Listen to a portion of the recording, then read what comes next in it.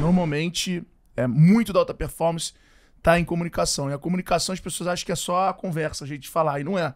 É tudo, é a tua postura, como você se comunica com você mesmo, como é que você organiza seus pensamentos, como é que você conta as verdades, porque é, essa é uma conversa que poucas vezes as pessoas assumem que existe, que é a sua conversa com você mesmo. Uhum. A gente passa o dia inteiro conversando com a gente mesmo. Pô, será que eu faço isso? Será que eu não faço?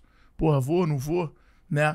É, você acredita nisso? Você acredita que grande parte da alta performance é a comunicação com qualidade, com clareza, é você aprender a se comunicar? Sim. Primeiro, porque um dos principais problemas da empresa tem a ver com comunicação. E dentro da comunicação, um dos principais problemas é a falta de especificidade. E o ser humano ele, ele é inespecífico na comunicação, né? Então ele generaliza, ele omite, ele distorce. Todo mundo, ninguém, geral, maioria, uma galera, uma Longe, galera, perto, uma galera tá falando, barato. uma galera tá falando. Não disse nada pra mim. Porra, geral tá dizendo, não disse nada pra mim. Pô, parece que nada que eu faço tá certo. Porra, brother, para de, de groselha, de vitimismo. Como assim nada do que você faz? Então isso- o, gener, o cara generaliza.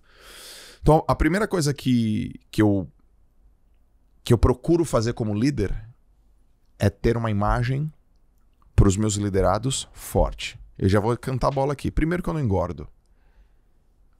Eu falo de performance. Eu posso ser gordo? Posso. Eu devo? Não devo. Segundo, eu tô sempre bonito. Eu tenho que estar bonito, velho. Porque eu já percebi que a maior parte da- da- dos adversários, dos concorrentes dos meus, eles são feio, estão feio, maltratado, gordinho. Eu falo, ah, velho, eu tô, eu tô perdendo, perdendo no óbvio, velho. Tá ligado?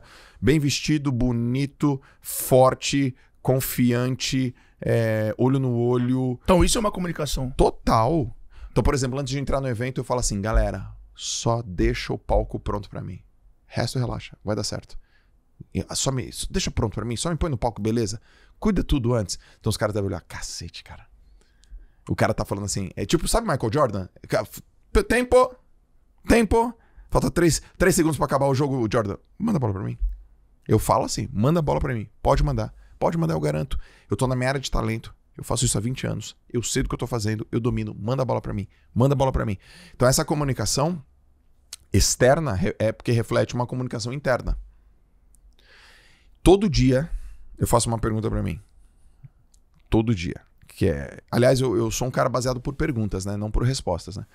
Todo dia eu faço uma pergunta que eu chamo pergunta das cinco pontas. A, a pergunta tem cinco pontas, mano. Qual, qual atividade profissional que eu tenho que fazer?